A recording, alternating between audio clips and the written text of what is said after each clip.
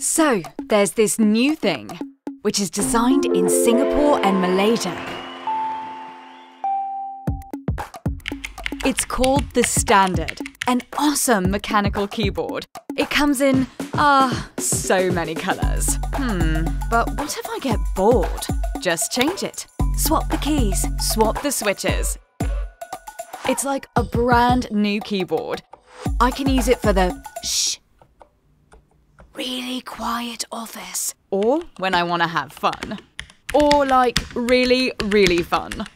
I've got it ready for that awesome Monday meeting. That chill out session. That inspiration hits me moment. I can use it in any situation. It connects to my phone, my laptop, my tablet.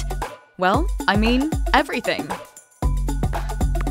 Now, this is the keyboard for everyone.